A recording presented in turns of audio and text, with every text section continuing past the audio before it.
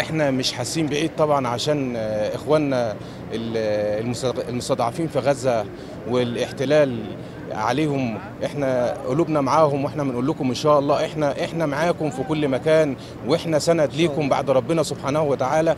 Today is the Eid, and uh, I thought is uh, my feelings uh, for our uh, brother and sister in Gaza. Uh, I hope they doing well and they can celebrate the Eid also. With uh, healthy and uh, stop the uh, ceasefire. بكل تأكيد كلنا كمسلمين مشاعرنا مع إخواننا في فلسطين وفي غزة تحديدا وبال- وبالتأكيد بعد الانتهاء من أي شعيرة من الشعائر بندعو لهم بأنه ربنا يتولاهم برحمته وينصرهم على عدوهم بإذن الله تعالى